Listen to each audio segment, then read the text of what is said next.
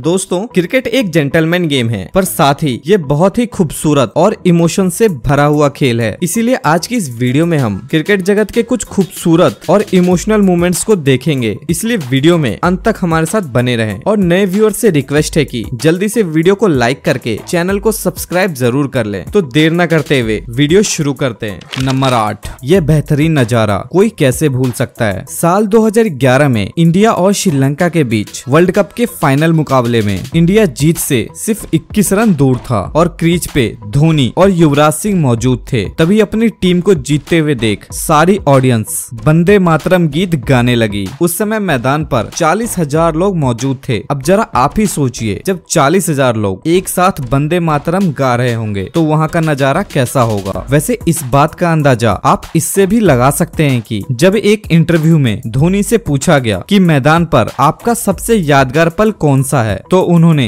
ये जवाब दिया Also, um, there were any moment in time that, since you're talking time, that you can never forget. during the 2011 World Cup, and it was like 10 or 15, 20 runs needed uh, on the finals, and the stadium started to chant Vande Mataram. Number सात ये दृश्य साल 2015 के world cup semifinal की है, जब New Zealand और south Africa के बीच मुकाबला हो रहा था, जिसमें न्यूजीलैंड की टीम ये मुकाबला जीत जाती है और साउथ अफ्रीका टीम के सभी खिलाड़ी काफ़ी इमोशनल हो जाते हैं नंबर छह, यह वाक्य 2014 का है, जब लॉर्ड्स में हो रहे एमसीसी 11 और रेस्ट ऑफ़ वर्ल्ड के बीच एक मुकाबले में युवराज 126 रन बना के खेल रहे थे, तभी उनके सामने बॉलिंग करने क्रिकेट के भगवान सचिन तेंदुलकर आते हैं, जिसको देखकर युवराज सिंह काफ़ी उत्साहित हो गए और वो सचिन के पाँव छूने लगे। वैसे युवराज सिंह ने सचिन के इस ओवर में एक बॉल पर छक्का भी लगाया, पर वो सचिन की अगली बॉल पर आउट भी हो गए।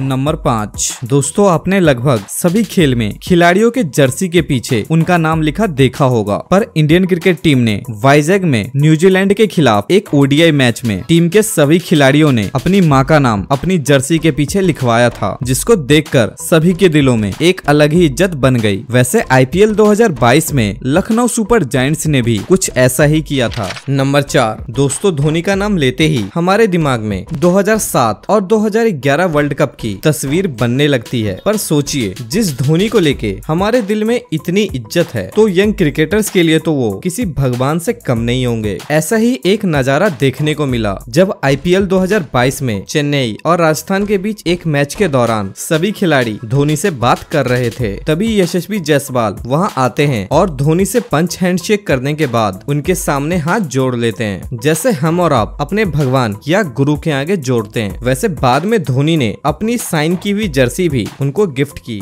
नंबर तीन। दोस्तों, स्टीव स्मिथ, बेशक एक बेहतरीन बल्लेबाज हैं, क्योंकि उनके नाम पर काफ़ी बड़े बड़े रिकॉर्ड्स हैं, पर जितना वो अपने बल्लेबाजी के लिए मशहूर हैं, पर उससे ज़्यादा वो बॉल टेम्परिंग की घटना को लेके बदनाम भी हैं। तभी तो अपने एक साल के बैन खत्म करके लौटने के बाद स्मिथ ओवल में इंडिया के साथ मैच खेल रहे थे। थर्ड मैन पर फील्डिंग के दौरान उनके पीछे की ऑडियंस उनको चीटर चीटर कह के चिढ़ाने लगी, जिसके बाद विराट कोहली सामने आए। उन्होंने ऑडियंस से उनको चीटर कहने की बजाय उनको चीयर करने को कहा जिसके बाद स्मिथ का रिएक्शन कुछ इस प्रकार था There's something very special in the first innings. Virat Kohli, captain of India, asking the Indians a terrific ambassador to the game, and that's great to see. Number दो। दोस्तों, जब भी कोई क्रिकेटर अपना आखिरी मैच खेल के जा रहा होता है, तब मैदान पर एक अलग ही माहौल बन जाता है, क्योंकि वो खिलाड़ी काफ़ी साल किसी टीम के लिए खेलते हैं तो इमोशनल होना तो लाजमी है। पर जब क्रिकेट के भगवान सचिन तेंदुलकर की बात हो तो क्या ही बात है। 24 साल इंटरनेशनल क्रिकेट खेलने वाले सचिन जब अपने आखिरी टेस्ट मैच में बैटिंग करने उतरे तो सभी खिलाड़ी और दर्शकों ने उनका कुछ इस तरीके से स्वागत किया।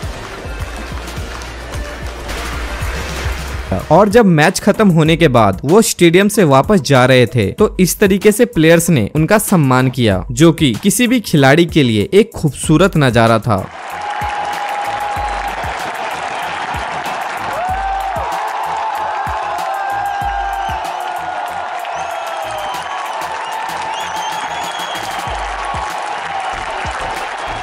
Number one. साल 2018 में एक ऐसी घटना सामने आई, जिसने पूरे क्रिकेट जगत को शर्मशार कर दिया। जी हाँ कुछ ऑस्ट्रेलियन प्लेयर्स पर साउथ अफ्रीका के खिलाफ टेस्ट मैच में बॉल टेम्परिंग का आरोप लगा। वैसे अच्छी बात ये रही कि सभी दोषी खिलाड़ियों ने ये बात आराम से कबूल भी कर लिया और इससे मिलने वाली सजा के लिए वो तैयार भी थे। पर क्रिकेट प्रेमियों को सबसे ज़्यादा दुख तब हुआ, जब इस घटना में स्टीव स्मिथ का भी नाम सामने आया, जिसके बाद ऑस्ट्रेलियन क्रिकेट बोर्ड ने स्मिथ पर एक साल का बैन लगा दिया। पर जब बैन की खबर के बाद स्मिथ का इंटरव्यू हुआ तो वो इंटरव्यू के दौरान फूट फूट कर रोने लगे जो कि आप इस वीडियो में साफ़ देख सकते हैं। Oh